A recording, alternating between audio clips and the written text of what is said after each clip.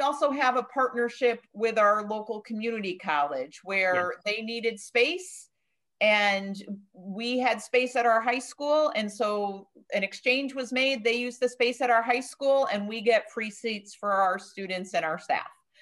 Every class now, not so if they run 35 classes out of Platt High School, which is our one of our high schools, that obviously we have the space at after 2:30.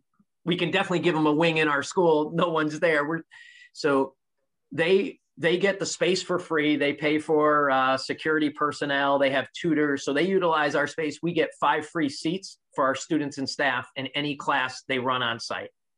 So before pandemic, they were running like 35 classes. I'll never fill all those seats initially, but I'm setting the foundation for later. And we always have had a handful of staff and a group of students take advantage of those opportunities. So rented space in downtown Meriden, but the carrying costs were going to mean that they couldn't do it anymore. So they needed another vehicle.